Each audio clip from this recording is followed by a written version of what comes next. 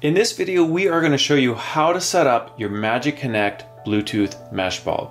So the first step is let's make sure that our Bluetooth connection is turned on. And in Apple devices, you go to your settings, make sure you're on the Bluetooth bar, and you want to make sure that you have the Bluetooth turned on right here. So I can see my Bluetooth is on, I'm going to go back. And now let's download our Magic Connect Mesh app. I included links to both Android and Apple in the description down below. Once you've downloaded those, let's go ahead and open our app. And now we're ready to power on our device. So I'm just gonna go ahead and screw the device in.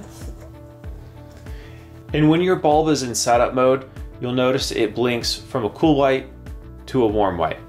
If you notice your bulb is not switching between a warm white and a cool white, go ahead and factory reset it. And I included a link to that video in the description down below. So now with the app open, I'm gonna go ahead and click the plus button in the upper right hand corner and I'm gonna select add new device.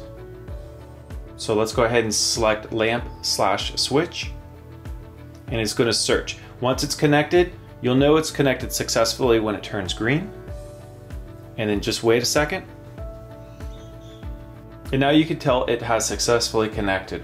So now I can go ahead click on that bulb and I can have full control over it.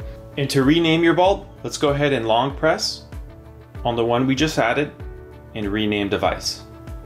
To ensure you have the latest firmware on your device, I'm gonna go up here and click the menu button up at the top left and then firmware update. And then as you can see here, we can update the firmware on these devices and just give it a minute to let the firmware update. And then under your place settings, you can have different places set up. So let's say if you have bulbs set up both at home and at your office, you can switch places right here. You'll also notice the smart bridge settings. Now these bulbs do not require the smart bridge to operate. You have full control over them in the app. However, if you do want to use voice commands, you can set up the smart bridge and that will allow you to use the bulbs with Amazon Alexa or the Google Assistant. It'll also allow you to control your bulbs from anywhere in the world. So let's say, for example, you left on vacation and you want to randomly turn on and off your bulbs, you can do that with the Smart Bridge. And if you still have questions, you can always email us at support at magiclightbulbs.com. And if you'd like to purchase bulbs, I included a link to these in the description down below. Thank you so much for watching.